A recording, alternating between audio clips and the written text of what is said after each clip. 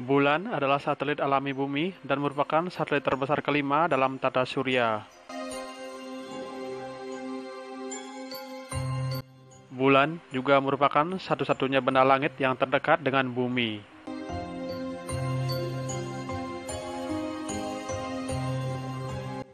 Fungsi bulan sebagai satelit bumi adalah berpengaruh pada gravitasi bumi yang mengakibatkan terjadinya pasang surut air laut.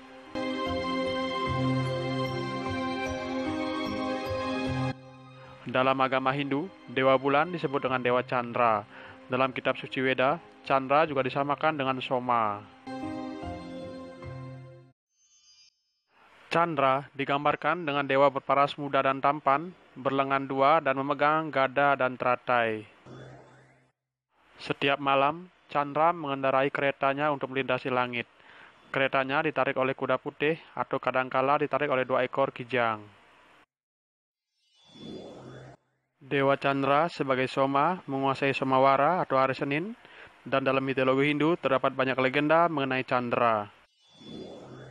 Dalam literatur Purana, diceritakan Dewa Chandra menikahi 27 putri dari Daksa yang merupakan juga salah satu Prajapati dan Daksa adalah putra dari Dewa Brahma. Dalam Matsya Purana, Prajapati Daksa dan istrinya Pancajani memiliki 62 anak perempuan. Dari 62 putri Daksa, kemudian Dewa Chandra menikahi 27 putrinya, pada awal pernikahannya, Dewa Chandra sangat menyayangi istri-istrinya.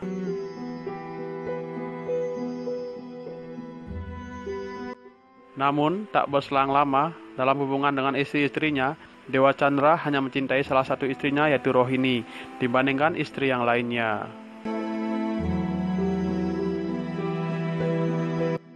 Hal ini membuat kekecewaan pada istri-istri Dewa Chandra yang tidak dihiraukan dan tak disayangi lagi membuat para istrinya melapor kepada ayahnya yaitu Prajapati Daksa. Kemudian Daksa memperingatkan Chandra agar berlaku adil dan menyayangi anak-anaknya serta bertanggung jawab pada kebutuhan istri-istrinya.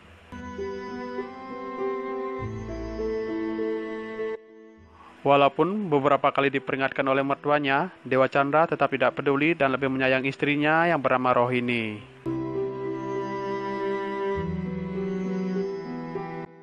Akhirnya, kemarahan Prajapati Daksa memuncak dengan memanggil menantunya Dewa Chandra untuk datang ke kediamannya. Kemudian, Daksa mengutuk Dewa Chandra agar kekuatannya berlahan-lahan meredup dan penyakitan, hingga kekuatannya menjadi hilang sepenuhnya. Mendengar kutukan itu, Dewa Chandra menjadi ketakutan dan panik, karena seketika itu dia mulai merasa kekuatannya melemah. Menyadari hal tersebut, Dewa Chandra bergegas pergi menuju Waikunta, istana dari Dewa Wisnu, untuk memohon bantuan agar kutukannya dihilangkan.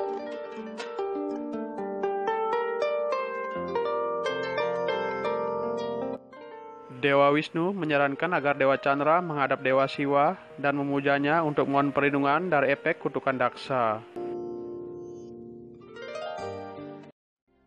Dewa Chandra harus menghadap dan memuja Dewa Siwa karena Dewa Siwa dikenal sebagai sosok dewa yang murah hati dan pengasih kepada para pemujanya. Diceritakan, Dewa Chandra mulai menyembah dan memohon kepada Dewa Siwa agar terbebas dari kutukan Daksa. Kemudian, Dewa Siwa berkenan menganugerahkan Chandra bahwa dalam sebulan ia akan hidup dan bercahaya selama 15 hari, dan satu hari mati kehilangan cahayanya. Dewa Siwa memberikan perlindungan dari kutukan Daksa dengan meletakkan Chandra menjadi hiasan di rambutnya.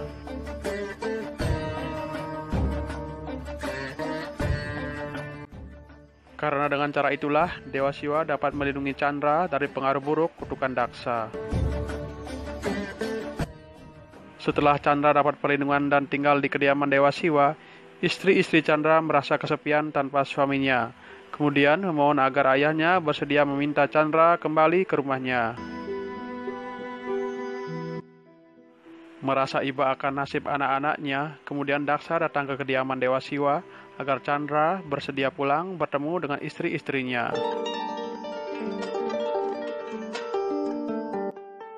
Dewa Siwa menyambut baik kedatangan Daksa dan dengan halus menolak permintaan Daksa untuk mengembalikan Chandra yang telah berlindung kepada Dewa Siwa. Dalam percakapan itu, tiba-tiba Dewa Wisnu datang menyamar menjadi Brahmana tua dan memohon kepada Dewa Siwa agar mau mengembalikan Chandra. Kemudian Brahmana itu mengambil setengah bagian Chandra yang sakit dan memberikannya kepada Daksa. Selanjutnya, mengambil setengah bagian bulan yang sehat dan menaruhnya di kepala Dewa Siwa.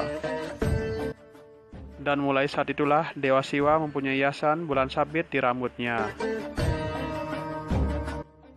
Hiasan bulan sabit di kepala Dewa Siwa disebut dengan Arda Chandra. Bulan melambangkan siklus waktu di mana penciptaan ada di dalamnya dari awal sampai akhir dan kembali ke awal lagi.